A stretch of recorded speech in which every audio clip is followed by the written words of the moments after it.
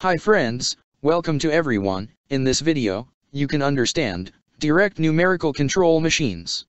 If you like this video, like, share and subscribe. Okay, let's we go to the topic. Components of DNC are, central computer, bulk memory which stores the NC part programs, telecommunication lines, machine tools. DNC, direct numerical control, DNC can be defined as a manufacturing system, in which a number of NC machines are controlled by a computer, through direct connection and in real time. The tape reader is omitted from the system. The information or the part program is being transferred directly to the machine tool through communication lines from the main computer. This is done in real time and the communication is two ways, both the computer and the machine tool can send information to each other. The computer sends information to the machine tool upon request of the latter and when this occurs the request for instructions must be satisfied almost instantaneously. The computer stores the information in a bulk memory and can control more than 100 machine tools.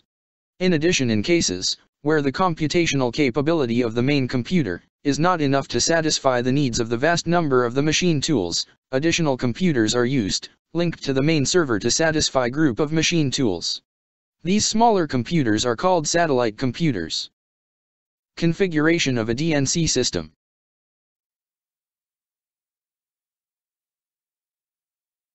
Advantages of DNC, time sharing the control of more than one machine by the computer. There is greater computational capability for operations such as circular interpolation, tapering etc. There is no need for the computer to be located near the machine because the computer can now control the machine tools remotely, while situated in a computer-type environment. The tape and tape reader are eliminated and replaced by communication cables making the machine tool reliable. Advantages of DNC, continue, the hardwired controller unit is eliminated. Programs stored as cutter location data, can be post-processed for whatever suitable machine is assigned to process the job.